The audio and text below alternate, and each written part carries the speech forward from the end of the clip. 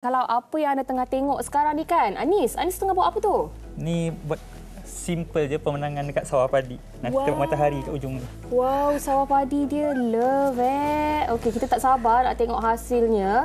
Dan Aina, tolong rate saya punya kek batik. Nak masuk juga, nak nilai juga. Okey, Syira lah, Syira lah nilai lah. Nervous lah pula kalau Syira yang nilai. Ayana buat apa tadi? Yang satu yang dah buat tu? Semualah. Semua. Bolehlah saya bagi 3.5 per per 10 ke per 5?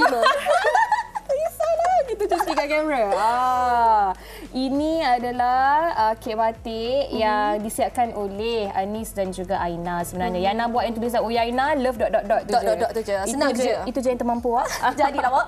Okey, sambil-sambil Anis siapkan pemandangan di sawah padinya Cantik tu. betul, nampak. Aina, mungkin Aina boleh kongsikan um, apa lagi uh, menu yang ada, pastry yang ada, lepas tu di mana cara nak mendapatkannya. Okey, um, untuk sekarang ni kita memang fokuskan kek batik. Okey. Uh, sebab dia lebih senang nak buat dan tahan lama dekat luar. Uh, Favourite saya tahu kek Ah, batik. Eh, saya juga tapi suka yang asli punya. Oh, Aina Ah, Anis betul. hasilnya. Jadi kita nak potong Ah, tak sabar. sebab kebanyakan customer nak yang tahan lama untuk tunang ke, kahwin ke kan. Ah, kadang-kadang satu jam pun uh, kek dah cair kan. Ah, so kek batik uh, salah satu kek yang tahan lama dekat luar. Ah, kalau nak bawa daripada Selangor ke Johor pun boleh, tak ada masalah. Ah, kalau Selangor ke Kelantan, lah. Lama tu. Lama sangat. Okey baik. Dan social medianya Aina. Okey, social media dekat Instagram Nurul Aina underscore dua kali. Oh, underscore dua Ah, kali. Dua kali ya, Wak? Dua kali. okey. Okay. Uh, kalau TikTok Nurul Aina 97.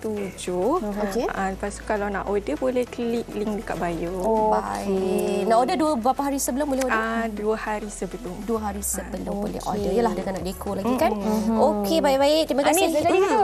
Okey tak tu pemandangan tu? Oh nampak dah ada matahari dah ada yang biru. Nampak awan ke? Awan. Awan. Nampak tak mata orang Tiba-tiba tahu ada kebor ke kat situ. Okey, wow cantik comelnya.